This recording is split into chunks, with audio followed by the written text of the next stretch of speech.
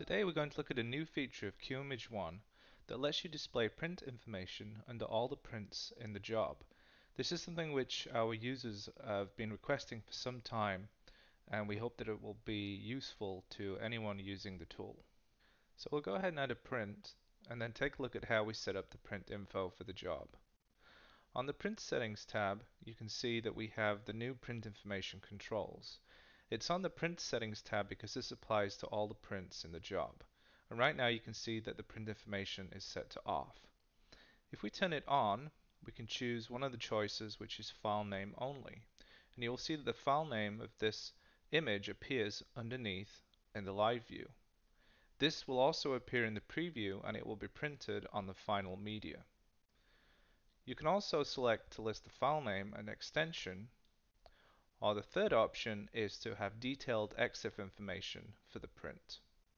You can see here in this case that we have the image name, the size of the image in pixels, we have the shutter speed, the original date and time, the ISO speed, the flash, the focal length, and the aperture. You can set the font of the print information by clicking on the font button here on the right. You can select from any font that's installed on the system you can select whether you would like to have it bolded or italicized. You can also change the font size and the color and whether you would like to have the font underlined. Notice that if you do change the font size, not all of the EXIF data may be present. If the print info you are displaying is shorter than the width of the image, you can also decide whether to have the text to the left, to the right, or center justified under the image. One reason you may want to display print information is if you were to display a print in a gallery for instance and you needed to be able to find out information about the print at a later date. One way you can do this is to hide this print information behind a mat for instance. Now here it's probably a little too close to the image but if we were to select this image and add a 1 inch white border you can see that the print information would not be visible once this image was matted.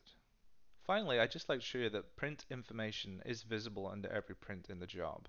So let's go ahead and remove this border and make this print a little bit smaller so we can fit some more on the page. If I add these prints at the same size, you can see that each one is displaying its own unique information, for instance the print name, the image size, the shutter speed, but you're getting the same information for every print in the job. I hope you find the print info feature in QImage 1 version 2020 useful. Thanks for watching and for supporting QImage 1.